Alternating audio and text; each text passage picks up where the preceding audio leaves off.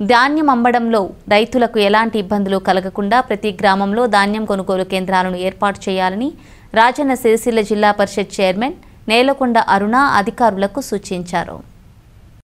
సిరిసిల్ల జిల్లా వ్యాప్తంగా ధాన్యం కొనుగోలు కేంద్రాలు ఏర్పాటుపై బుధవారం రోజున అధికారులతో జడ్పీ చైర్పర్సన్ అరుణ ప్రత్యేక సమావేశాన్ని ఏర్పాటు చేశారు. ఆమె మాట్లాడుతూ వైరస్ వ్యాప్తి నియంత్రణలో భాగంగా రైతులకు ఇబ్బందులు కలగకుండా ప్రతి గ్రామంలో ధాన్యం కొనుగోలు కేంద్రాలు ఏర్పాటు చేయాలని సూచించారు. రైతులు క్రమ పద్ధతిలో వచ్చేలా కూపన్లు అందజేయాలని అన్నారు.